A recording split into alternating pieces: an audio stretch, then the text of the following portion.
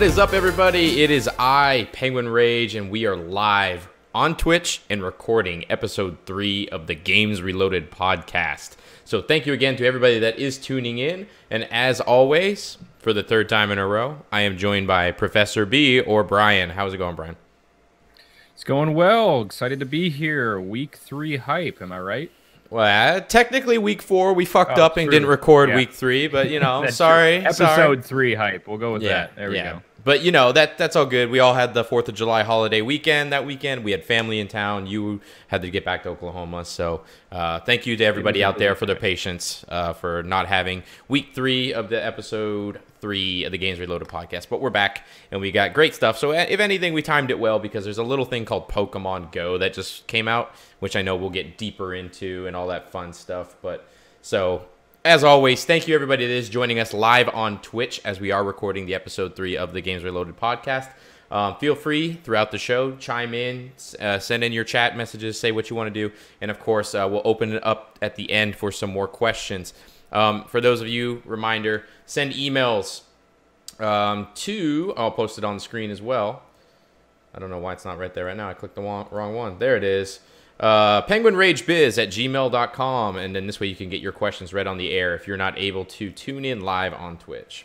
Anyway, how you doing, Brian? What you been playing lately, man? How's things in the video game world with you?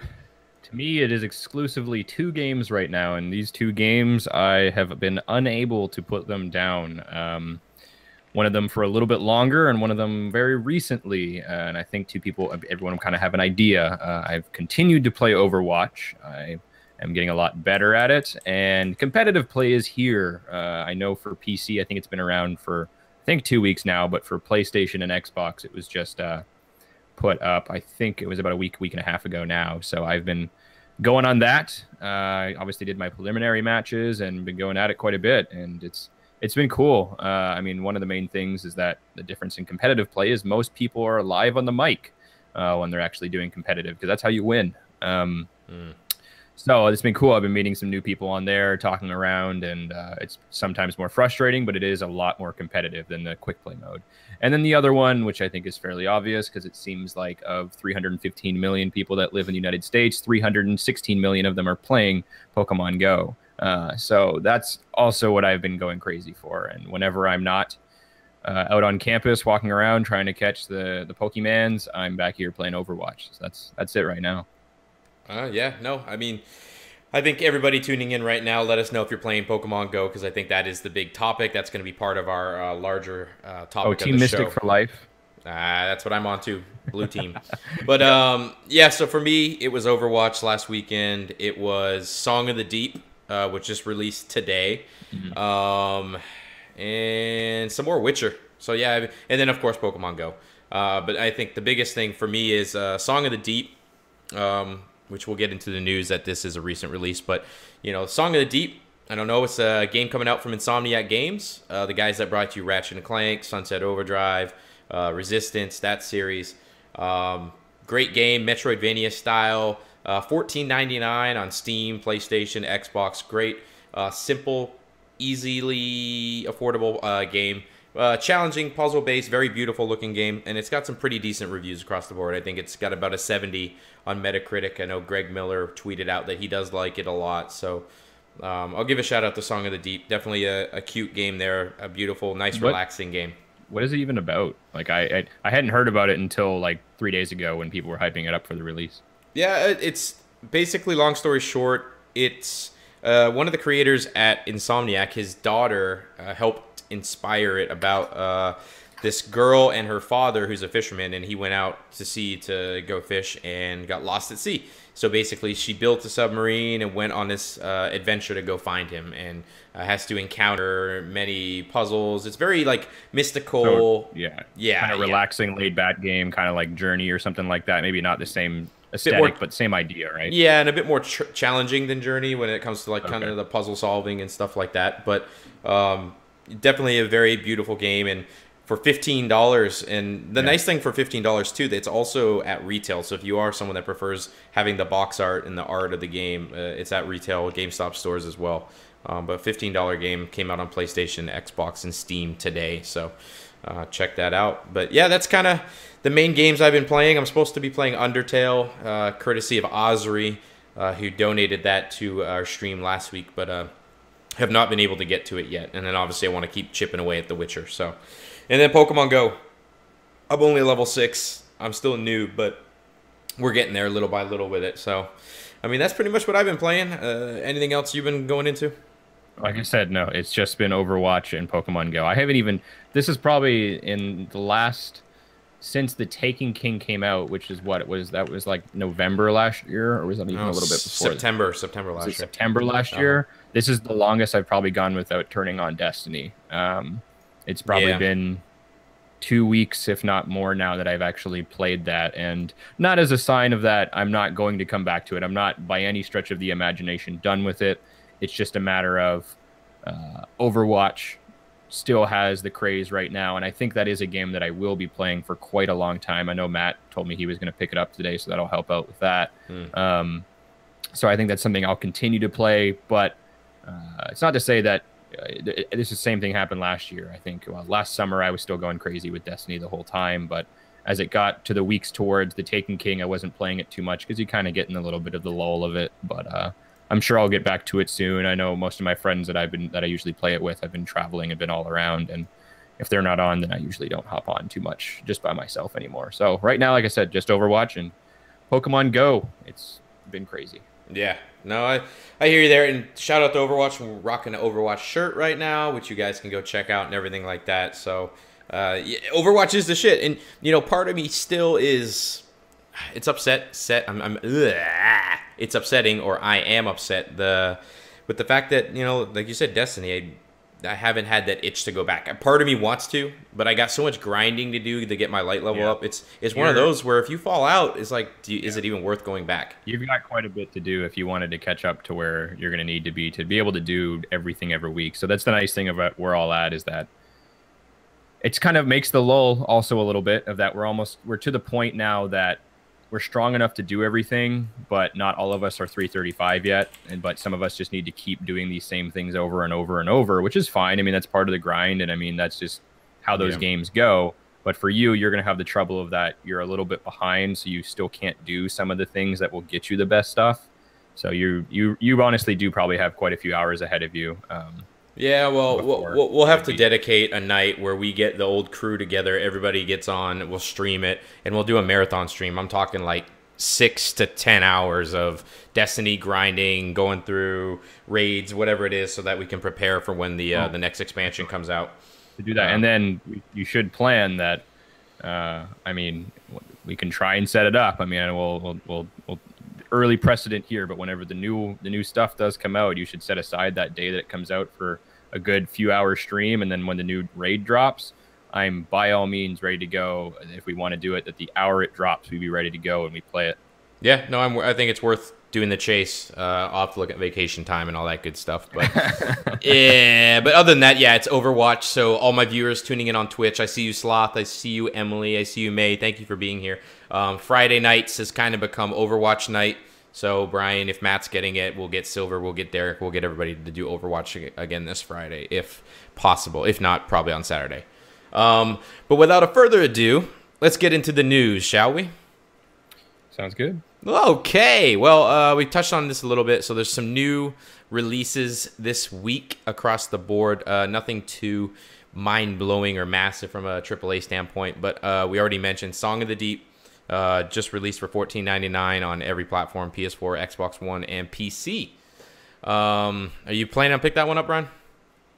I honestly have no idea. Um, it's it's a case of I have two games to be playing right now that I really don't think I'm going to get distracted from at all. So uh, maybe eventually. I mean, I want it's 15 bucks, so we'll see. But as of right now, I, I don't think so.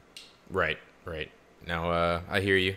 Uh, Monster Hunter Generations. Uh, so Monster Hunter fans out there, uh, I think I haven't looked too much deep into this. If it's if I'm not mistaken, this might be a uh, collection of sorts. You know anything on it?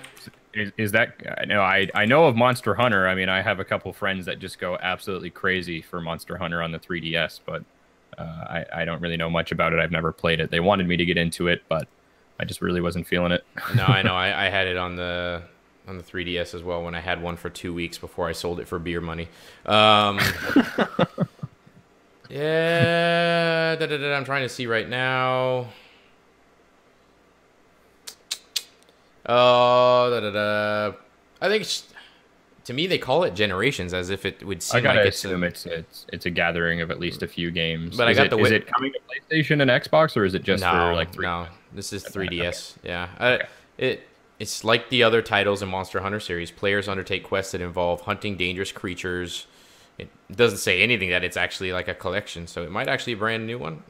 Sorry for our ignorance there, guys. Just not Monster Hunter fans. Yeah. but nonetheless, No, no. if you are, it is releasing this week. Uh, I believe on the 16th.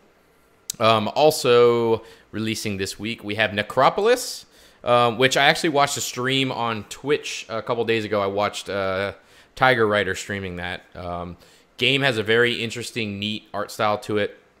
Um, I don't know too much about it. I believe it's an indie title. Um, a lot of people have been hyping this one up for quite some time. So Necropolis, check it out. Looks very good. And then Brian, your last edition there. Yeah, the last one that uh, I just I haven't played it, but again know it from friends that are big PC gamers. Uh, Kerbal Space Program is coming to console, um, so that's uh, something that I know. Uh, there's a huge like niche following for that game. Like one of my buddies, he's put thousands and thousands of hours into that, and it's probably a game I would like quite a bit. It's all about engineering spaceships and rockets and stuff like that, and getting to uh, uh, things as such. But uh, again, I don't know if that's another one I would pick up just because you got to have uh, your your time set straight of what you're going to put your gaming into. And right. I, I only have so many hours, and I, I think that's something I would enjoy, but I don't know if I would have enough time to really get to a point of where I, I would enjoy it the most, I guess. So. No, fair enough. All right, well, that's the main games that are coming out this week. Um, so we'll just dive into more of the news that has actually happened. Um, but we are speaking about Overwatch, and Overwatch is one of our bigger games and one of the most uh, largest followings on Twitch. Um, Overwatch has a new character coming out. So I'm sure most of the people would have already seen this. They were hyping it, kind of leaking it all last week. Um, but there's a new character uh, what's the name called again? I thought it was Ana. Yes, Ana, Ana, whatever it is. Uh, support character who uses a rifle and other abilities to simultaneously heal her teammates and hurt her foes. Uh, so think of a sniper rifle uh, or a sniper ability, but someone that's far away can heal and everything like that.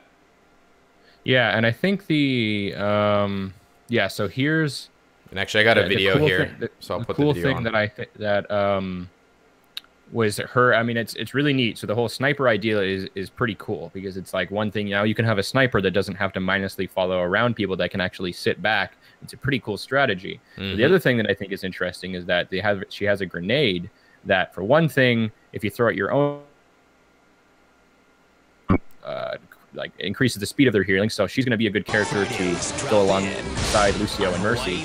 But any other enemies caught in that grenade actually do not receive healing for a period of time. So this Right. is something that's going to be, I think she's going to be a really, really, really cool um, kind of combo character of that. For one thing, she ha- she's going to obviously have her main purpose, which is going to be healing. But I think that combo with the grenade is going to be really unique, and she's Yeah. going to be a what's going to be called like a offensive support. So she's going to be not the only support character that players are usually going to have on their team. They're going to have her alongside probably Mercy or Lucio right. and Zenyatta because Zenyatta actually just got a uh, uh, an update today too that he actually is apparently now going to be usable for a support character.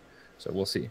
No, I think it looks really awesome. And if you're tuning in right now or watching the video on YouTube, um, you can see, like Brian mentioned, it's a whole different add to the uh, strategy fact here, where she sits back uh, further away, where not only she can obviously damage enemies, she's healing you as you're uh, more on the front lines, the uh, the heavies and everything that are more up there, and then of course, like you said, the grenade that they just showed her using. So, uh, I think it's great that they're already coming out with new content for the game. Uh, it is free, I believe, right, Brian? I, as far as I know, yeah, I haven't seen anything about it, it being a cost or whatever. Which I think from day one, uh, Blizzard's been pretty open in that every new character is not going to have any DLC associated with it. It's just sorry, new character DLC will be there, but it won't cost anything. Right. So I think they're they've got the microtransactions in there for to get more loot crates. Um, but I think that's the main thing they're going for. I don't think there's going to be any sort of paid DLC, at least as I'm aware of for the game right now. Right, right. No, uh, I, I, think that's a great thing. And if I pull the story back up, which uh, I had to close it, yeah, I believe it is free. So I think it will be a future update that just adds the new character, which is awesome for Overwatch that's fans. Great. And yeah. I mean, the fact that they're already doing this in the game's not even been out, I guess, a month. It's probably about about a month. So uh, yeah, it's been out for a bit now. And actually, something else that I just read here that I didn't, it has not been part of the headlines uh, for people that do play the game. Um, one thing that is a uh, big part of there's a big confliction about whether or not people like it or if they don't is actually after season two finishes, the sudden death feature of the game will be removed in favor of ending a game in a tie. So uh that's interesting. I uh, I don't know how I feel about that because I know a lot of people that hate the sudden death uh, feature of it, and that uh, it's it's it, some people say it's not very fair. Um, but I don't know how much I like tie. I mean, maybe that's us just here in North America. There's no such thing as a tie in our sports, but over in Europe and whatnot, ties are part of their daily lives in soccer. yeah, I don't know. Uh, nonetheless, good stuff coming for Overwatch. Um, next has been a pretty big one that's been circling the headlines for the last few days. Um, and this has nothing to do with the CS:GO uh, controversy that from the YouTuber YouTube video and making the gambling stuff. I, I figured not to put that one up there because I think that one's been exhausted since last week. But kind of in the same realm, um, Warner Brothers is in some trouble right now with um, their game Shadow of Mordor, which was a great game, came out about oh god, I guess a year and a half ago now. It's been a while. Um, yeah. They paid YouTubers to promote the game and talk about the game, which is nothing new. okay. And there's nothing wrong with that. That that happens all the time. That's new media. That's just just like a commercial on TV with actors. Um, but the catch is when you pay someone to speak positively about your product, and this is a paid money exchanging hands partnership, you have to di- disclose this publicly mm-hmm. so that the people viewing this or reading it or whatever it is know that this may not be quote unquote authentic because this is a paid promotion. It's basically yeah. having an actor speak during a commercial saying, This is the greatest thing ever. You should check it out. Um, so, long story short, um, Warner Brothers is getting in some heat. Uh, they worked with big time YouTubers such as PewDiePie.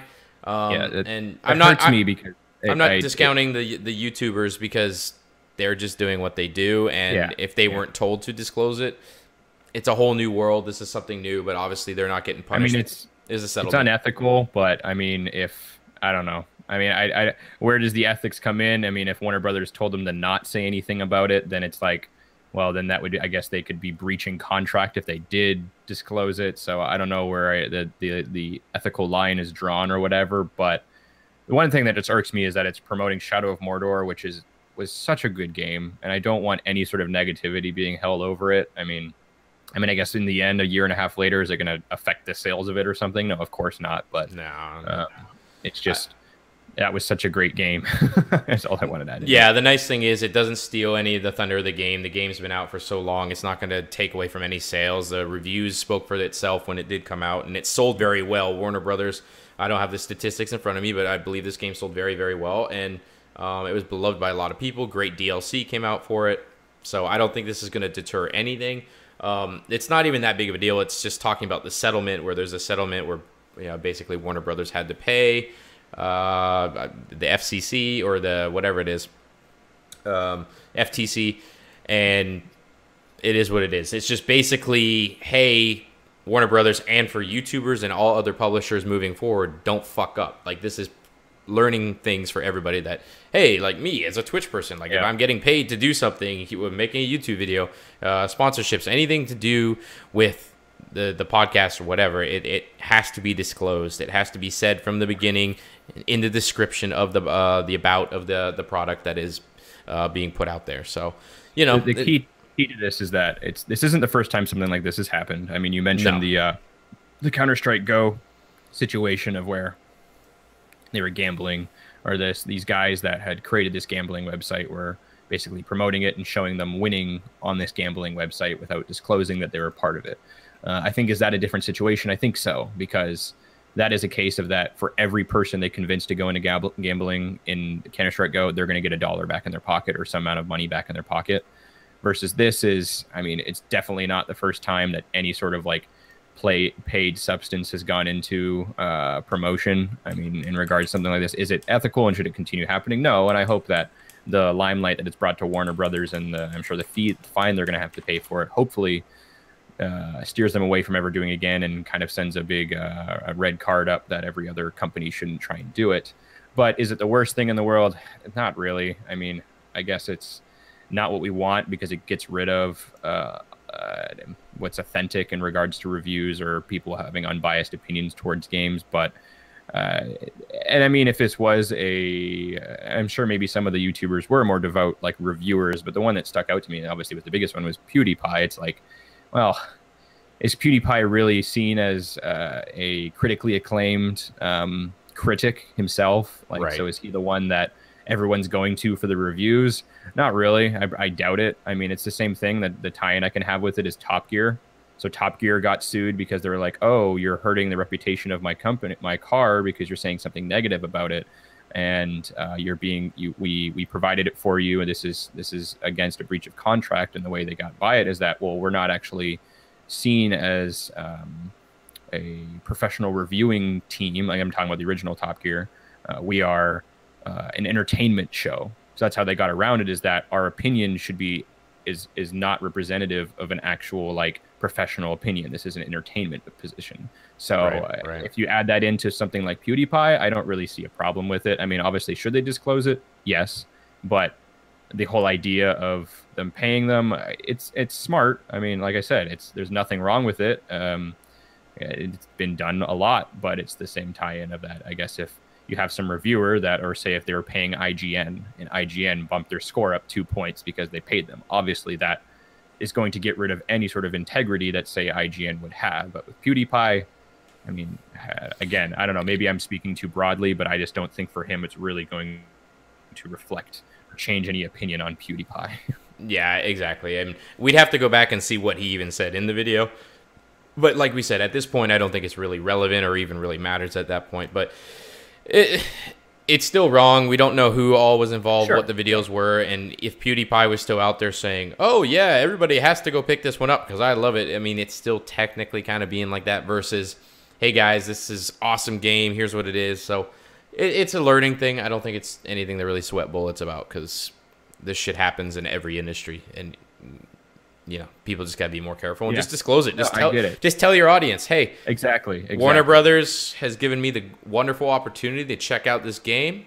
So yes, this is a promotion. This is a sponsor. This whatever you want to call it. So thank you to them, and of course, here we are diving into the, uh, into whatever.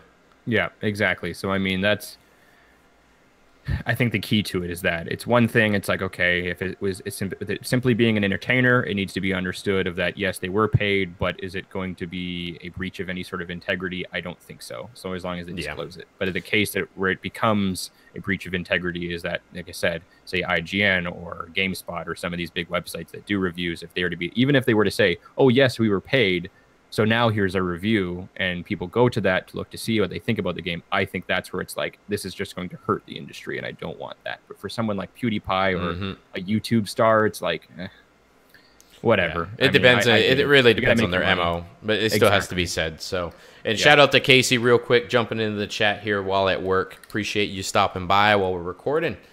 All right. And then the last thing on the bit of news that we're going to go over here, which will also then mold and segue into our topic of the day, will be Pokemon Go. So, first and foremost, Woo. Pokemon Go is big. It's successful. It's kicking ass already. It's kind of fucking crazy. So, the headline here um, by Eddie at GameSpot says Pokemon Go launch adds $9 billion to Nintendo's market cap and an international release is coming soon. Meaning this thing hasn't even launched globally yet. It's just Japan and, it's and US already right a massive phenomenon. I don't even think it's in Japan, Brian. I think it has been for a while now. It was already out in Japan before it was out here. Okay. Uh, but let me just go through some of the statistics here uh, attributed by Eddie. Um, well, the Wall Street Journal report reports today that the game is coming to Europe, Japan, and other a- Asian nations within a few days. So Oh, it has not come out in those countries yet. It is only available in the U.S., Australia, and New Zealand. It's not even in Canada yet. Seriously. And that's how big it already is. So, this information comes from people familiar with plans for the game. So, there you go. People in the other uh, areas of the world coming soon. Also, uh, let's get in here. The Wall Street Journal also reports that Pokemon Go's release has made a huge impact on Nintendo's business outlook. Shares of the company rose 25% in Tokyo today, building in in- on increases from last Thursday and Friday. Uh, this comes out to nine billion dollars worth of market capitalization, pushing Nintendo's Nintendo's total market cap to almost twenty-eight billion dollars. Now, that's not revenue, that's not profit, that's not money into their pocket. This is growing their percentage, their twenty-five percent lift on their stock market, meaning that it, it, it equals to about nine billion dollars worth of market capitalization. Um, also, So it, it's it's the idea of that. I mean, I, I I believe I'm correct with this. That the idea of that if they were to sell this concept to someone else, that the minimum market cap they would probably start the bidding at would be about nine billion dollars. Yes, exactly. Now, other thing to take note of, I don't think many people actually understand this and notice. Nintendo does not own outright the Pokemon Company. Well, Um, they get, no, don't confuse with that. So it's that they they Nintendo own- owns thirty-two percent of the Pokemon Company, but Well, they, they own, own- the IP.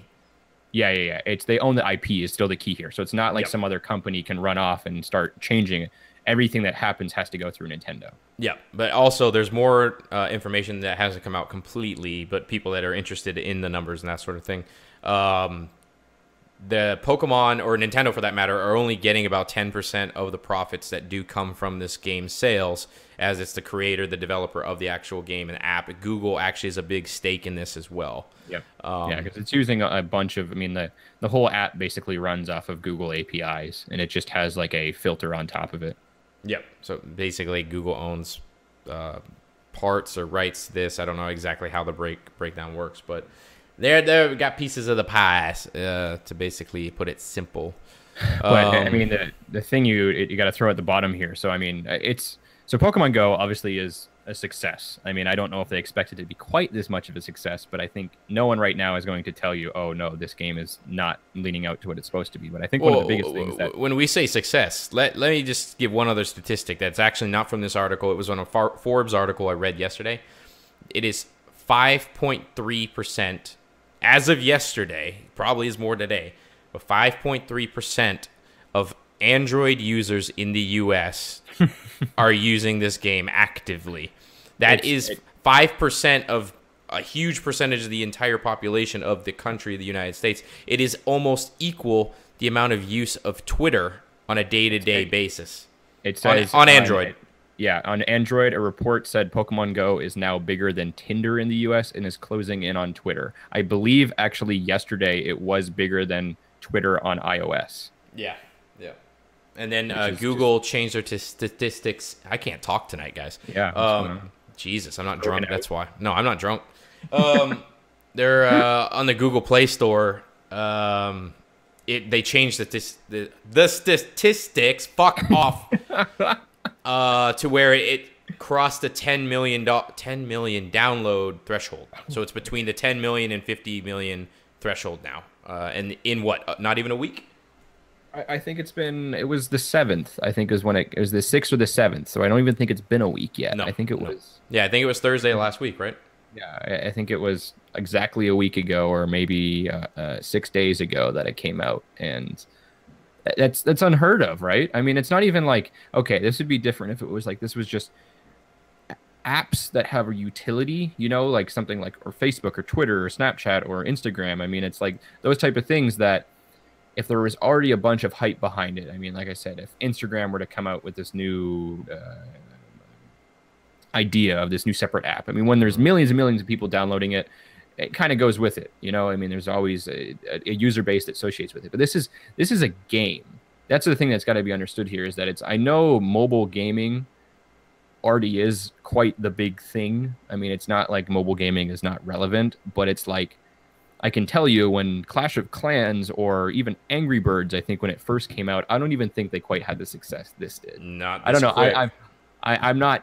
I, I don't know. I don't have the statistics in front of me. Maybe I'm wrong, and and people can and ri- write in and tweet at us if I'm incorrect with that. But from just a preemptive idea of the people that I see around me playing it, like being on a college campus, and we'll get onto mm-hmm. this more. But it's like I have I have never seen something quite as crazy as this. Maybe maybe the, the something I can compare it to is that it was like literally Star Wars. yeah. The amount of people talking about it and the amount of people hyped for it, it is probably the last thing that was quite as big as this was Star Wars, which is insane.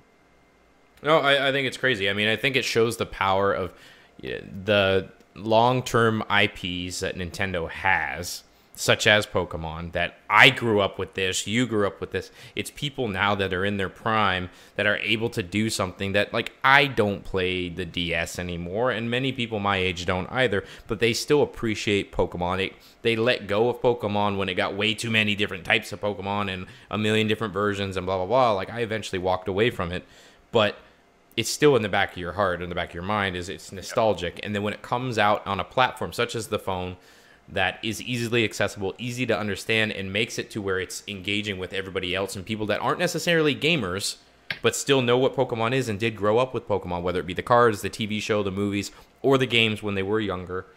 Now it opens those doors and that kind of brings it to the larger topic of the future of nintendo. Is it Yeah, should so- nintendo move to the smartphones?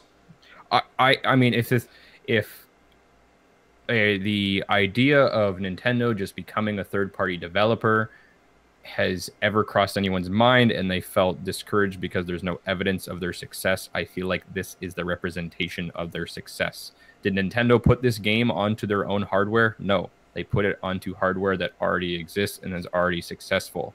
Um, and and I think should they give up on console gaming or things like that? By all means, no. Should they abandon anything like that? No. I, I, I'm meaning that I think this is a good representative that the power of the IP that they own and the amount of people that will play it.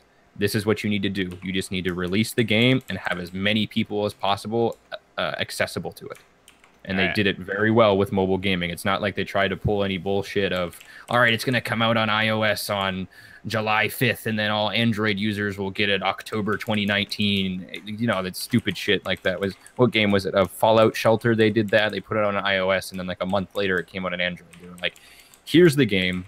Here's as many people eh, that want to play it. Let's give it to you. And holy fuck, now we suddenly have I, I, millions and millions of people playing this every day. And I think this is a good indication of that. This is how they're going to make their money now. Well, okay. So that's basically talking mobile. So in your eyes, and I agree, I think them moving into a third party realm makes sense. We're talking mobile games. We're moving moving into mobile, whether it be from the DS, the the handheld, to mobile uh, cell phones, uh, devices such as tablets, everything like that.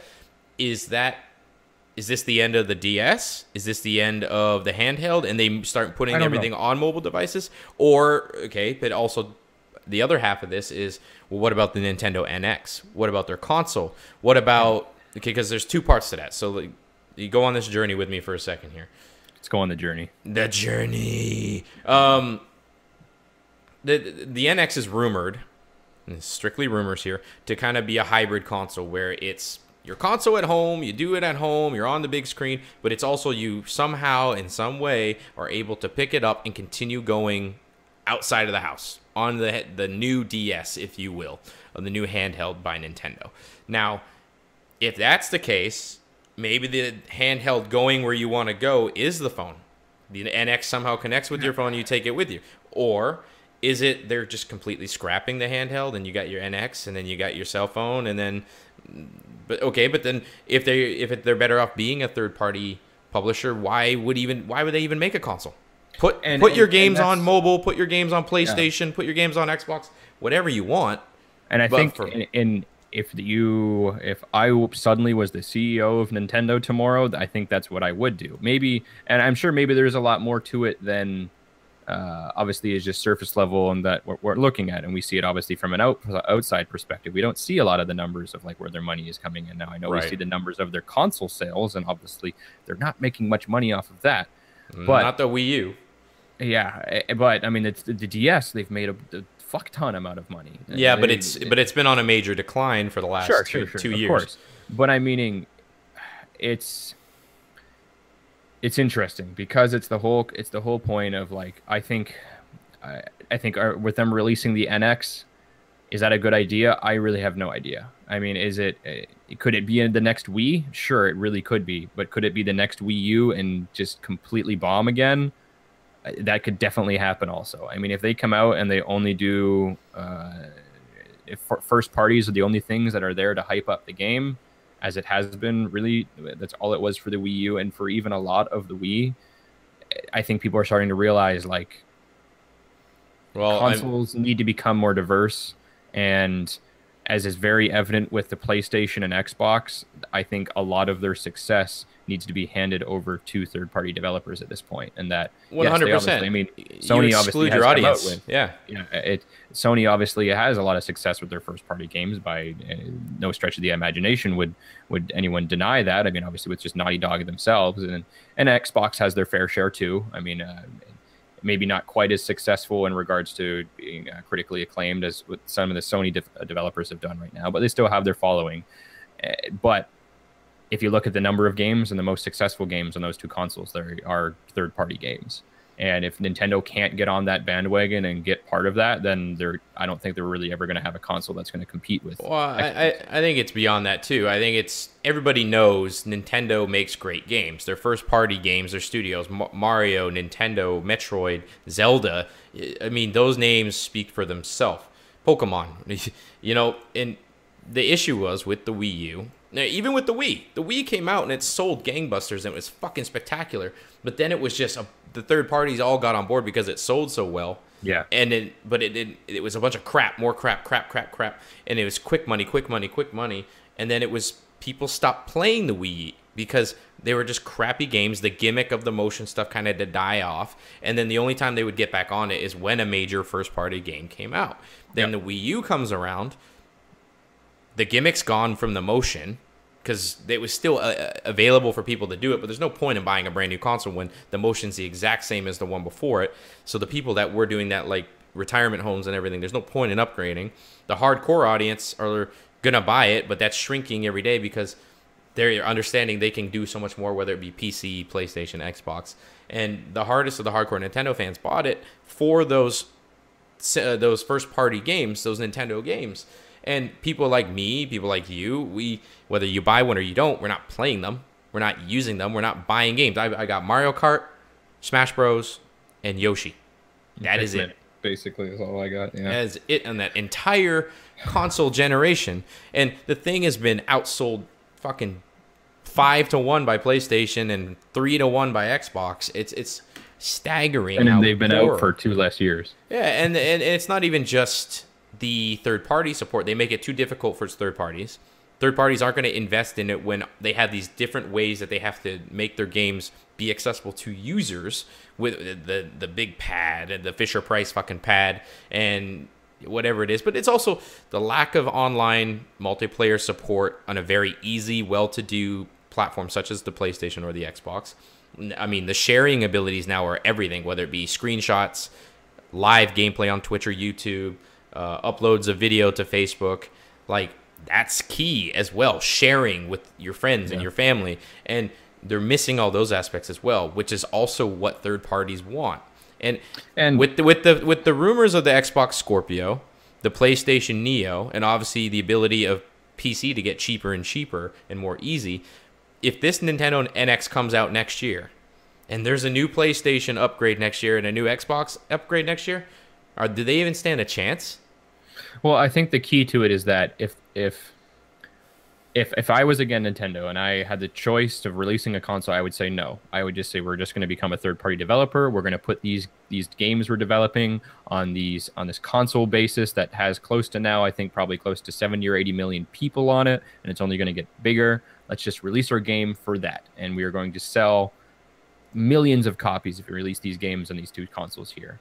Um, but I don't think realistically that's what Nintendo is going to do. I mean, I think they they want to keep their their independence from the other two companies, and I think the only way I can really see this console being success is that if Nintendo really starts to get away from the whole mentality of that their console is for the I, again, I know this might upset some people, and I'm not meaning this in any case of that it's more of a casual console than what PlayStation and Xbox is, and that it's.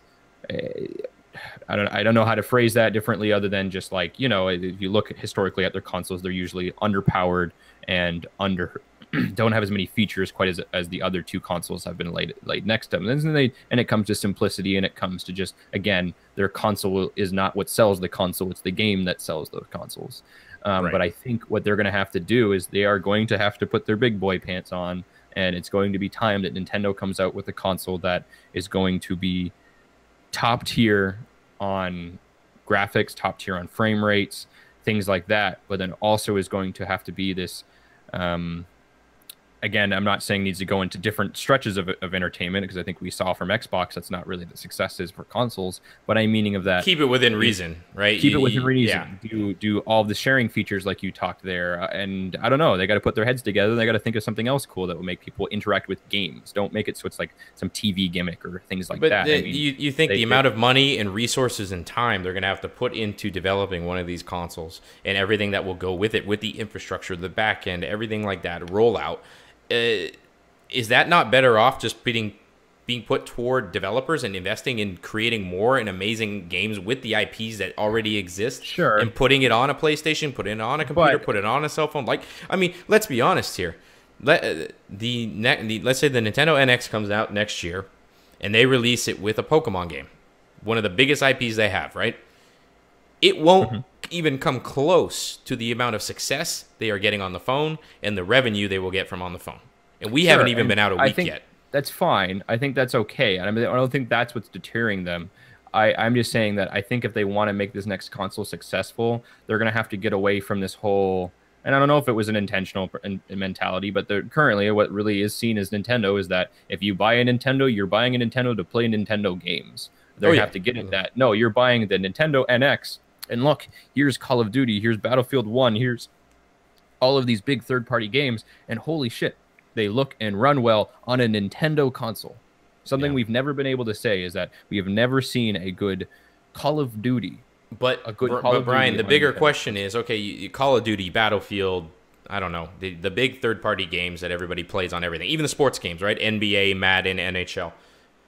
What would make me or you or this 12 year old greasy kid down the street that's playing his Xbox is how are they going to get him or her or anybody off of the PlayStation, off of the Xbox, or off of the PC with, to play those games, such as Call with, of Duty, on a Nintendo?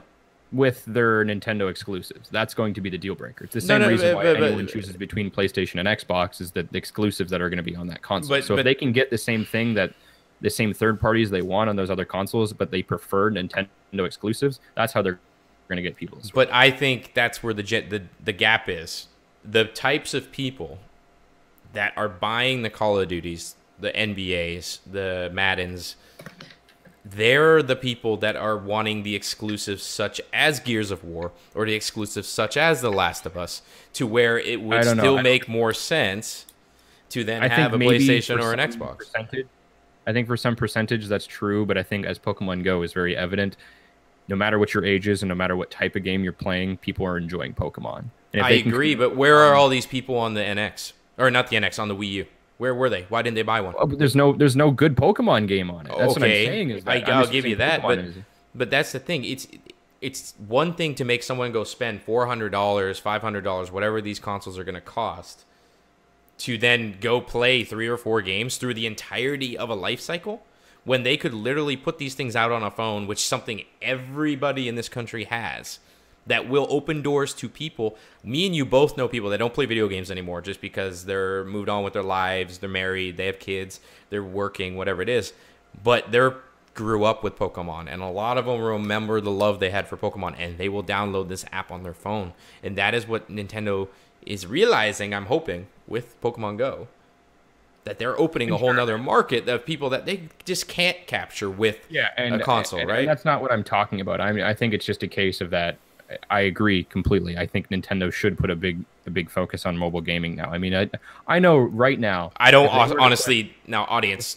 I honestly don't want that because I want Nintendo to succeed in the console world because I want a healthy Oh, Nintendo sure, sure, sure. helps grow No. the category, right? and that's what I was going to say is that I think there's going to be two worlds of Nintendo now that they need to have this console this console side to it, which is what I was talking about Yeah. is that I think they need to change their mentality a little bit on their console side and that if they want to have success, then they need to follow what's been successful. And way back in the day, maybe what they were doing was successful, but it's not working anymore. Versus Oh, yeah. then there's this other side of Nintendo which needs to focus on mobile gaming. So I'm not saying give up by any means of console gaming. I'm saying they do need to put a preemptive focus on on mobile gaming because I think it's successful. Because I even know right now if they were to put red, blue, and yellow like the original games, they just ported it to the to the um, to Android and iOS, and say they for all Oh, three of them, you can get them for five bucks. you can get them for five bucks. I could tell you they would sell millions and millions of copies of that within a week if they did. and uh, everybody's been saying that for the last five, ten years since these Yeah. things have been powerful enough to run that with emulators, and people are already doing it. Oh, I was I played Pokemon Sapphire back on my my phone like four years ago. So I mean the emulators have been there, but it's still an aspect of like if they come out with a dedicated version of the game that allows me to trade with people over the internet. Oh my god! no, I know. I mean, you see with the power of what Pokemon Go is doing. Yeah, and yeah. uh, I will be the first one to tell you, yeah, I'm a PlayStation guy. I love Xbox, I love PC, and I still love Nintendo. But Nintendo hasn't done shit for me since the GameCube. The Wii, I, I was one of the few people that did not fall into the gimmick that was the Wii, the running around, flap your arms around, and throw the remote at the TV bullshit. Because they were crappy games. Its gameplay is key, first and foremost. And it was an underpowered console in comparison to the Xbox 360 and the PS3. Then the Wii U came out, and everybody finally caught on. Like, uh, nothing there. And Nintendo being stretched for how they are, they're still making amazing games. The games that have come out on the Wii U that are first party are great games from Nintendo, but they're once every like four fucking years. You, I mean, you've had one Smash Bros on the Wii U. You didn't even have a Zelda. It's going to come out at the end of the life cycle, or was the the the first the last Zelda at the beginning of it? I can't remember. I, I keep going. I, I Uh, can't remember. re- either. regardless, right? The one Smash Bros, one Mario Kart. It's their core Uh, and it's- titles. it's- you you're paying four hundred dollars for something you're gonna buy four games for. The in, in the entire course of the life cycle, which should be about four to five years minimum. Yeah, and, and of of like I said, I think I've got five games, five first party games, and that's because there's no third like, party support on the fucking console. them- Two or three of them really met the expectations. Like Right. the new Pikmin did not meet the expectations. The new Smash Brothers, good, but it didn't quite have. uh, And people would probably disagree with me. Didn't quite have the same vibe that I got from Brawl on the Wii.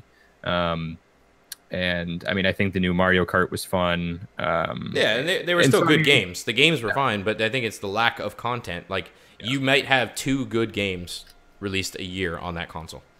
Yeah. Because there's So no third party support. They they need and I get third it, party and, and that's where I'm saying of that they got to change their mentality of what they're looking at for their console, and I think create these two worlds of Nintendo of that they still do console gaming. It's a revitalized Nintendo for console gaming, but also Nintendo just banks in on this mobile world because it's, yeah, yeah, yeah, and they can have it go cross cross platform too, right? Well, here's here's an ideal world in my opinion. And You can give yours, and everybody tuning in, feel free to chime in as well. They come out with a gangbusters, badass, 400 500 dollar console that is simple. Use the same tactics that the PlayStation used. Don't come up with some new way to reinvent the wheel. Don't come out with some Fisher Price controller. Don't do motion. Don't do something completely out of left field that's trying to do take this major risk, major investment, and try and convince people that they need this new thing that they've never had before. Don't do that. Come out with a standard console that's powerful, up to par with above the PS4 and Xbox One, where the Neo and the Scorpio would be somewhere in the middle there. And simple controller, have online multiplayer availability, friends list, party chat, Netflix, Twitch, all the regular stuff. I know I'm saying, oh, well, you just have a PlayStation? Well, you can argue the same thing. You have PC, but you have your now you have your exclusives. And when you have your Nintendo exclusives, you also have hey, third-party developers will be like, oh, it's easy for us to port Call of Duty. It's easy easy for us to port Madden, and they put it on the console so that people have choice now, and that brings the third-party support to it. So people might not own all three consoles, but they might get PlayStation or Xbox with a Nintendo, or uh, you, you know, or a Nintendo and one or whatever. I mean, people will now have more reason to add that to their larger video game catalog. Um, Then they still do the mobile stuff on the side, like the Pokemon stuff. Like, I mean, I don't know what else they could still do from other IPs like Mario and classic stuff. You can't really get into some of the hardcore, but that's where Nintendo innovates. Look at Pokemon Go. That is where they're innovating. This is something that's never been done before. Augmented reality has been done before, but not to this extent. This is very cool, yeah. and the way it's implementing the GPS and interacting with other real people around you, and it's bringing people out. It's making people go do fitness fucking things. Video yeah, gamers. four miles today. People that don't leave their goddamn house are doing things. I don't leave the house because I'm I don't like people, but it's a whole different story. Like people are actually doing stuff. It's kind of neat. Oh yeah, and so that's that's what I was saying earlier is that like I myself am working on a college campus right now over the summer, and I every every time I step outside and I'm on that college campus, I can look any direction and I see people playing that game. I see people playing it. If I go to a single gym, there's at least at least one person at every single gym on campus almost uh, every hour of the day doing something at that gym there's constantly people rotating between the hot spots for the Pokestops. Like there's a few of them that you can get like two or three of them together that always have uh, those lures placed on them. But it is just unbelievable. Like there's a, a, a small park at the end of campus, and if I, I, went there last night, I think it was like 9:30 when I got there, and there was probably close to 200 people just at That's that pond, fucking crazy, just all around it that are just playing this game. And the cool thing too is that it's it's it's a whole different world of socialization for gaming that I don't think has existed before. And that yeah. like there's one thing of that, you know, like a PvP for any sort of game, you're going to play along with strangers. You might not ever know their game their names and you can play with them for years. And but this is like a socialized game that like uh, there's uh, there's one of the gyms is at a church by where my house is we went there a couple nights ago to, to, to fight the gym or whatever. And as we're sitting there, four other cars came up and people had their windows down and they're like, "Hey, what team are you on?" And we're like, "Oh, we're we're Team Mystic." And then they're like, "Oh, fuck you, I'm I'm Team Valor." And we're like, "We're gonna take this out," and we're trying to hold the gym. And it's like, it, it's it's a whole new world of socialization because then you have the opposite t- side to it too, where you just everyone's at this pond trying to get rare Pokemon and people are working together, and it's just like someone sees a Dratini. Like it was actually really funny. Um, uh, someone saw the Dratini and everyone saw it on their phones come up at once. And this is when the servers were absolutely just destroyed. So yeah. there was basically it was hard to even get in the game. Well, Dratini pops up and everyone's like, "Oh God, Dratini, Dratini, Dratini," and you can hear everyone talking about it. And then simultaneously, everyone I guess is trying to click on it to start going to battle of it. On all everyone's screen, it just goes error and it just kicks Dratini out. So Dratini just disappears and everyone just goes, "Oh fuck, what the hell?" yeah. I mean, you can just hear it. It was just, but, it was hilarious. And I think that shows, you know, the power of what it is. But then the question comes, okay, we've seen these mobile niche type of games, and after let's say a couple weeks, it just drops off a cliff. Do you see this happening? it's it depends. Um, if they don't get these servers fixed, then yes. Uh, I even just saw actually it was when we were starting the the, the podcast here. Um, I saw a screenshot of that. Actually, an iOS update just went out for uh, Pokemon yep. Go that's supposed to be helping with bugs and glitches. I don't know if it's out on Android quite yet. Uh, so I hope. I mean, I hope that helps fix a few things. But if they don't get these servers fixed, I think start people will eventually get fed up. Uh, I know there. I mean, even if I go out for two hours, that I honestly feel like at this point I'll I feel good if I got a solid maybe 40 minutes of actually playing the game at this point and not trying to fight servers. Um, so I can see people getting frustrated in that sense. Uh, the other thing they need to, make sure that they're careful with is they got to make sure the parity of gyms doesn't get out of hand. Um, there's a few right now that, like around campus, that they haven't been touched because there's these people that have been playing this game nonstop since it came out, and they're like level 30. Mm-hmm. And it's like mm. I've been playing this game for quite a bit of time, and I'm level 15, and I feel like that's pretty strong. But there's some people that have just haven't stopped playing this game, and for someone that wants to be new to come in this game, that's obviously going to be, be a huge deterrent um, to wanting to move for it. But they kind of do have a pretty good system for the gyms, and that even if you can't get to the top level to beat them, for every Pokemon that you beat in the gym, because it's a level system. I don't know if you've seen one yet, Kyle, but it's like there's level one through five of different Pokemon. So there's six, there's five or six different Pokemon there. If right. you beat level one, then you move on to the next Pokemon. So even if you only beat level one, you still bring down the uh, what's the word for it? Um, the uh, basically the prestige of that gym. And if the gym prestige reaches zero, then you have the opportunity to take over it with your own team. And, and I think so that's where, I, yeah, you, you got to team up with a bunch of people if you want to take exactly. something powerful. So you got to take it down. So I think the system they currently have is cool and it makes sense. But I think something they're going to need to do is they're going to have to find. Uh, at right now, I don't think they need to do it, but in a matter of a few weeks, uh, I think they're going to have to make sure one that they do find a, a, good way of rotating gyms. So they need to add new ones in, take old ones out, maybe, uh, because I could see it getting a bit boring after a little bit as people try and compete and right. um, and things like that. Um, but gonna, I, I think there it's I think it really comes down to kind of what you just said there though is it's refreshing the content. It's not even necessarily yeah. balance and making sure that new people and what whatnot is always there because I, I get it. That's always going to have to be tweaked because I, you know it could be a tiered system where if you just started and you're between level one and level five, you only see Exactly. The that gyms was something that talked about today is that that like, would be a cool way for them to do that. Yeah, but, they keep they keep the the gyms like you own it between level one and five, you own it between five and ten, you own it between, and then obviously just once you hit a then certain you have level, some then it's just whatever everyone could do or something like that. Yeah, I think that would right. be a cool idea. But I think you also nailed it on the head there of that. Um, they got to make sure they have fresh content coming into this, and that not necessarily not necessarily just limited to new, new Pokemon like that. that come in, but also yes, new Pokestops and maybe new ideas that actually go into the game. So, like, I mean, a trading system, the trading system supposed to come, battle yeah. system, a PvP battle system. I get it, like why they didn't launch it with it, because at this point it isn't needed. Break but I game. feel like that is going to be something that that within a matter of a month, maybe a little bit longer, people are going to start crawling at the like just they they are going to want that because I even right yeah. now like I've got like these I got a Lapras and I've got a um a Magmar, so it's like I have these two Pokemon that I want to show off, but the only way I really can do it is by taking over a gym. And maybe I don't have the level to take over a complete gym just amongst those two. Um, so if I could have PvP, I, I, think that's coming. I mean, I think they, the company that was in charge of it, did talk about a little bit about what's yet to come, and I think they did mention a trading system. The, the trading system PvP. they've confirmed is on the way, so I'm pretty sure that'll be the next probably 2.0 update or whatever they want to yeah. call it. Um, but yeah, I could see a PvP thing coming too. Because if they do want this to have legs and last over a year, then they're gonna have to have major content updates such as that. Yeah. And um, I, I, think a PvP thing will be there. I mean, they already have the battling system. I think the battling system can be improved. It's not terrible, but it's yeah. also not the best.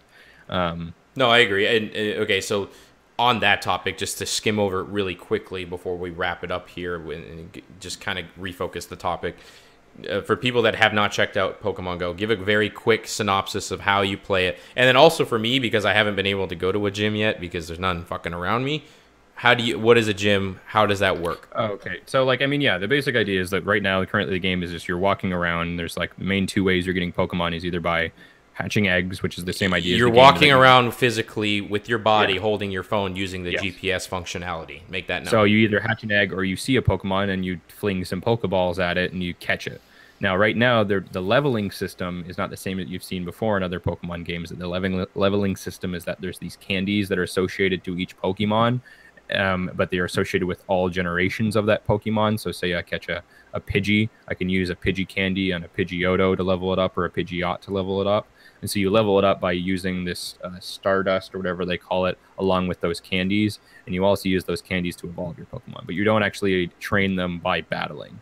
Now, uh, where the battling happens, so right for the most part, the game is really just a collection game. It's it's basically basically like collect these Pokemon, and obviously the higher level, well, the level is relevant is relevant whenever you go into gym battles, and gym battles are basically a uh, there's locations and specific teams, either red, yellow, or blue, um, control the gym, and for every level that that gym increases at, which I think is at like 4,000, 6,000, 8,000, 10,000, 12,000, 14,000, like that. Every level that increases at, there's another Pokemon that's added to that gym. So say it's at level 6,000, then I think there's three of them there. And then you get to 8,000, now it's level four, there's four of them there, etc. Um, and when you say I'm Team Valor and it's a Team Valor controlled gym, which is the blue team, when I go there and I battle it, every time I beat a Pokemon at that gym, and once I eventually lose, or if I sweep and I get to the end, that I don't take over the gym because obviously my team already controls it. This is now um, that that beating by beating them, the reputation or whatever of that gym is increased and now maybe it goes to level it goes to 10,000 reputation. Now I can add one of my pokemon in mm-hmm. and now there's five of them there. And then the opposite is say someone from uh, yellow or red comes there. Every time they battle it and every time they beat one of the pokemon there the reputation drops. And if it goes from 12,000 to 10,000 it now goes from 6 to 5 pokemon. And then once it gets below once it hits 0 there's no pokemon there. Team red or yellow can now throw in their pokemon and increase the reputation. So that's how the gyms rotate and, it, and also with the gyms, how do you actually battle the Pokemon? That's where it's like it's not move based. It's like uh, literally um, you you have like a main attack and then you have like a special attack, and just by tapping the opposite Pokemon, you're using your main attack. And then there's mm-hmm. this little blue bar. If it reaches like one of the points, you can use a special attack, and mm-hmm. it's just the same idea of that. Get rid of their hit points using your combat points. So you just tap on the opposing Pokemon uh, to and try with using a regular and once you get like your your special is ready, you do like a long press on them, and you do your special, and then boom. Mm. So okay, I did not know that. It's not. So. It's definitely a lot less sophisticated, and really, it's really not a Pokemon battling system. I mean, by any stretch of the imagination of what we are usually used to. But I see how they have to do it this way because obviously you're fighting against a bot, and it's really a good way, I guess, to make sure that bots actually are competent rather than right. just people are obviously going to be able to sweep if you're going against bots. So I think it's uh, it's a cool idea. I think it has a lot of room for improvement, but it's it's a good start with where they're at. That's cool though. So and I guess just to come back and wrap it up with the larger discussion, I mean, Nintendo as a company moving forward, I think this is showing very good promise and I don't know, maybe they're looking at it as a test of should we go third party or should we get rid of the handheld and just do mobile on that side of it? And we still do a console. Oh, I, I, I it's hard to say. I think this is this launch has caused for a lot of very important, a lot of high up meetings if with the executives of Nintendo. I don't think this is what they expected. I think they I think there is going to be success mm-hmm. with this almost no matter what, but I think this is this might actually be changing the game a bit for what Nintendo is doing because this is like I said, probably one of the biggest and most uh, spoken of things in regards to like an entertainment industry since I like I said since Star Wars, at least from what I've seen. And, I think and, see that, and I think it's further proof. Uh, we don't know what the Nintendo NX is. We're probably going to hear about it in a couple months. Wink, wink. And when we do find out about it, whatever it is, there is one thing that is certain. If it comes out next year and it bombs and it tanks in the first year, two years of it being out, I think that'll be the end of Nintendo as a console manufacturer as we know it. I think they will then look at the writing on the wall. They'll see where their money's at. It'll be mobile. Maybe the they'll go third party on other consoles, PC. I don't know, but uh, they got a huge opportunity with the NX to recapture that type of audience into the console uh, category. But the positive is what we're seeing with Pokemon Go is there's obviously an appetite for it, but how do you catch that appetite? And this is one way they've now proven they can. So the other side is a big question mark. So that'd be very interesting to know. So of course, uh, make sure you let us know what you think Nintendo is going to do with uh, the NX, with handhelds, with mobile, with everything they're going forward. Do you like Pokemon Go? Do you think it's going to fall off the map? Um, let us know in the chat or send us an email at penguinragebiz at gmail com or tweet at us as well. Um, but with that being said, thank you everybody that has tuned in with us uh, today. We don't have any questions from the audience for tonight's episode, um, but of course, we've uh, already said where you can let us know for future episodes. Um, if you did not know already, the podcast will be posted. We're VOD on YouTube, as well as podcasting services such as Google Play, iTunes, and Stitcher. So you can download them, subscribe to them, subscribe on YouTube, or stream them on those various platforms as well. Um, and of course, follow here on Twitch, twitch.tv slash penguin rage, where I stream Friday, Saturday, Sunday, and we record the podcast on Monday nights, normally at 8 o'clock p.m. Central Time, where you can tune in, be part of the conversation and the show, and let us know what you think. Otherwise, send us emails, penguinragebiz at gmail.com, or on Twitter. I am Penguin Rage Live. And Brian, what's your Twitter? B Stevenson 014. So feel feel free to hit either of us up with questions you guys got, and we will, no matter really what the topic's about. I mean, even if it's uh, something about the show or something about what we're playing or whatever, we'll uh, we might not talk about it long, but we'll definitely bring it up, and uh, you'll get a little shout out that way. Definitely. And like I said, we're on all those different platforms YouTube, iTunes, Google Play, and Stitcher. Go subscribe. Send us comments in those places as well. Rate us, give thumbs up, whatever the options are.